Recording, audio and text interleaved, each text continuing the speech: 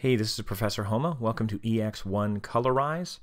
And what we're looking at right now is a color photograph of a covered bridge. The reason we're looking at this photo is because we're actually going to have a black and white version of this that we're going to colorize.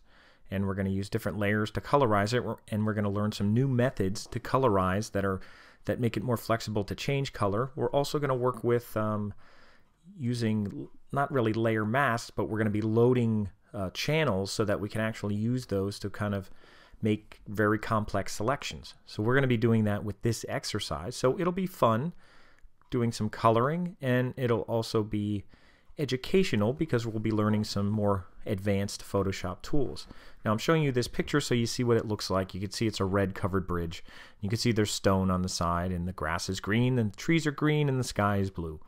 And obviously, if we had time, we'd probably get rid of the wires ahead of time. Here's the backside of that, and you know, we're not going to get rid of the wires yet. We'll leave in the wires for now, but we're going to colorize this. And we're, it's been turned into black and white. It's been turned into grayscale. So we're going to talk a little bit about grayscale and color mode. And then what we're going to do is we're going to colorize it. And we're going to do something like that. And now it's an artificial colorizing that we're using. Let me show you what we have here. We have a whole bunch of layers here that are above the original one that are used to colorize the different parts. Like for example, some of the early ones are the grass. So I can turn off the grass. Now it's black and white. Now it's color. There's the sky. Now it's black and white. Now it's color. And also the trees and the bush. We can color them. And now let me point out that these trees and the bushes you know, we're coloring over them and we're going to be painting over them, but they're very hard to select. There's a lot of like sky in between. Here there's siding in between. There's all kinds of stuff back there. So we're going to be using complex masks to help select that a little better, just so we don't have to like zoom in there super tight and try to paint every single leaf. That'll take forever. So we're going to use some masks for that. We're also going to use a technique where when we work on these layers, no matter if it's the water, the sky, the wood, the siding, any of this stuff, and the wood is the, the white part here, um, no matter what part we use here, we're going to be painting with black. If you look in my foreground color here, we're going to be painting with our paintbrush and painting black. That way, when we change colors, we just have to, we're going to use a color overlay effect to really change colors. So if at any point we want to change colors, just for example, if I go down here to my grass and I turn it on, if I thought the grass was too saturated, I could double click on my effects and I'd have to kind of go up here to my color. Here's my color overlay that I'm working with. And if I want to change that, you know, let's say I wanted purple grass. There's purple grass. So I'll go back to green and let's say I just want to desaturate a little bit. It's a little too strong. I can move my saturation level over to the grays a little bit more and hit OK.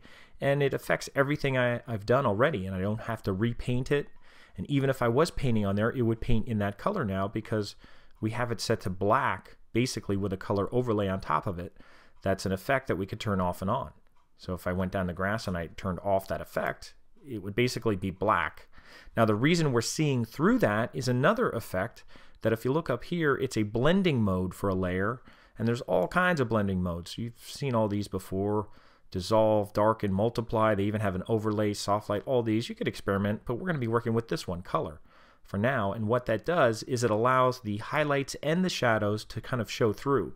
So it's not the same as just like painting over a layer and turning down the opacity because that kind of gives it a muddy kind of color. So this one, when we when we put these put these on, and put on these effects again, when you put these on, what it does is it is it kind of puts the color over it, but it lets the highlights and the darks to show through, so it gives more of a realistic effect. Again, it's still colorizing, just like you've seen colorized films and colorized photo. It's never perfect. Even in here, I look at this part of it, and that shadow should be a little darker. It doesn't look quite as realistic as it should be, but that's kind of stuff we can work with a little bit. And the nice thing about this method is if you don't like the color, we can go back and change it real easy by just double clicking on the effect. If you thought the stone, if you thought the color on the stone was too warm, you could just go and find the stone layer and double click on the effects and go to color overlay and just change the color and lighten it up a little.